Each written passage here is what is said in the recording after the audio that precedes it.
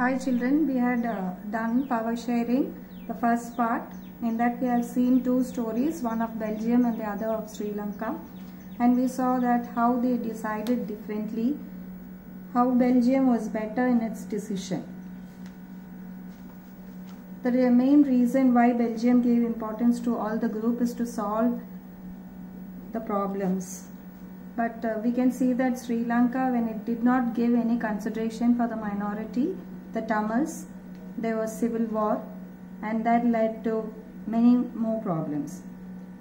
So we have to understand what is the importance of power sharing. So today we are going to do why power sharing is desirable. That means why it is very important.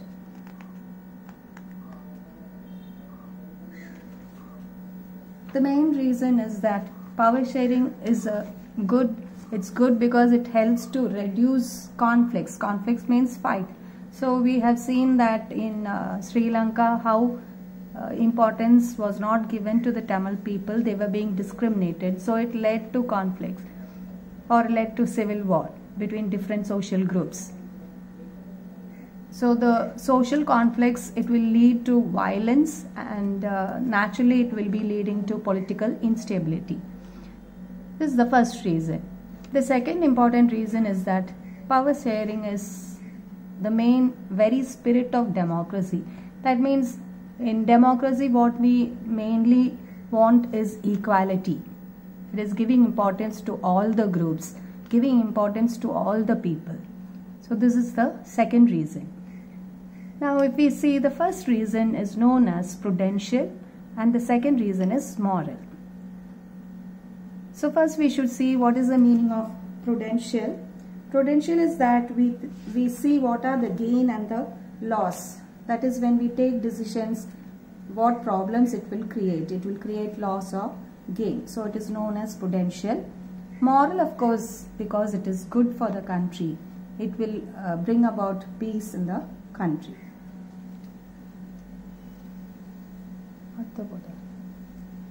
I hope you have followed. The next part is forms of power sharing. We know that power sharing is very important and uh, earlier the during monarchy rule the main problem in uh, monarchy is that decisions will be taken by king and a very few people. The decisions will be in the hands of very few people. So it might be good sometimes or it might not be good. So power sharing is very important in a democratic country where we give importance to equality, giving importance to all the social groups, thus avoiding major problems. So actually democracy it, itself, uh, the main principle of democracy is that the people will have political power. That is they have importance in the country. The thing is people have the right to vote they are able to elect their own representatives. Thus, it is good for the democratic government. Now, in the modern democracies, that is why we are uh, seeing the sharing of power can take different forms. So, the first and foremost one is power is shared among different organs of the government. So, we can see that the main um, way of sharing power is through legislature, executive and judiciary. This is known as horizontal distribution of power. You can see that all are at the same level. They are given importance. They have their own power. So it is known as horizontal distribution of power. Last year you would have studied that of course in democracy there are ministers and uh, different government officials who exercise power and they are responsible to the parliament and the state assemblies. It doesn't mean that no one will interfere in them. Definitely they will be corrected by people if it is necessary. Each organ checks the others. This is also known as balance of power among various institutions. In uh, democracy, we know that ministers and government officials are there. If there are any problems, it will be interfered by the court or by the judge. similarly, although judges are being appointed by uh, executive, they can check the functioning of the executive or they can even see into the law if there are any problems in the law which is being introduced. This is known as checks and balances.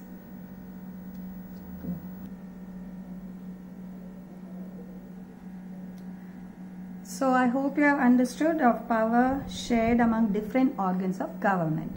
Now the second form is power is being shared among governments at different levels. You know that the government functions at different levels as the central or union government, state government, the local governments. This is known as vertical division of power. I hope you would recollect what we have studied in 9th standard. Now in Belgium, the constitution clearly lays down the powers of different levels of government. Whereas in Sri Lanka, this different levels of power was refused, which led to a lot of problems and civil war.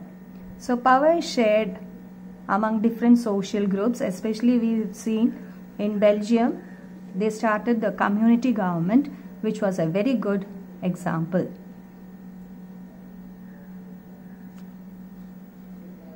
okay. So we are seeing that power is being shared among different levels of government and uh, this is what is very important in a democratic country. Here we have the central government, they have certain powers like that each of the state have their uh, importance and they also have power. Even in the local level as municipality and panchayat, they also have certain powers. So this really helps for the good functioning of the country or the government. So this is known as power shared among governments at different levels. The next one is power can be shared among different social groups. This is a very important one because in a country there are different social groups speaking different languages some might be majorities and some might be minority. But we should give importance to all the groups equally, which will help for the development of the country.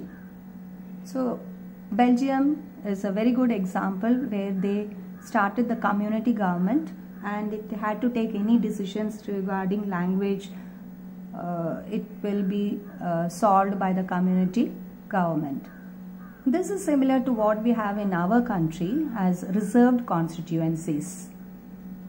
You have to recollect that you have studied in 9th standard about how uh, constitution, uh, constituencies are reserved.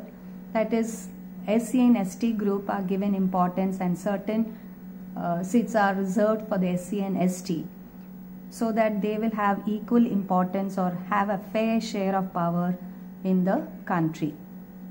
So this is very important to be followed in a democratic country. So this is to give more importance to the minority groups and they should not feel discriminated or alienated. The last one is power sharing which can be done with political parties and pressure group or movements. You know that in a, in a democratic country, how very important the political parties are. In a democracy, the citizens, they should have freedom to choose among various uh, contestants and they choose their leaders or they choose the people who should be ruling the country. Such competitions, uh, it ensures or gives power to all the people equally and no one feels discriminated or no one feels that the power is in the hand of very few people. Now, even in the long run, power is shared among different political parties. That is, if sometimes we can see that two political parties can join together and contest in the elections. That is, they form an alliance and they contest in the elections. Suppose if they uh, contest in the elections and uh, if their alliance is elected, they form a coalition form of government. You know that uh, coalition form of government, how one or uh, two or more groups will be joining together and they form the government. So this is one of the best way of sharing power. Many uh, different groups of people will be included in this. Everyone have a fair share of participation in the government. So these are the four forms of power sharing. It is very important. I hope you have followed. Now I have given below uh, the questions which is very important in this in this chapter. The first one is how is the political system in Belgium innovative and different from other countries of the world. I hope you will be able to form your own answers with the class what you have got. The second question is what is majoritarianism? How has it increased the feeling of alienation among the Sri Lankan Tamils? Explain with examples. So I hope you'll be able to form the answers. The third one, what are the different forms of power sharing in modern democracies? Give one example for each. So that is what we have done today. So I hope you'll be able to do. The last one is describe any three demands of Sri Lankan Tamils. Please read the text carefully and prepare your notes. Thank you.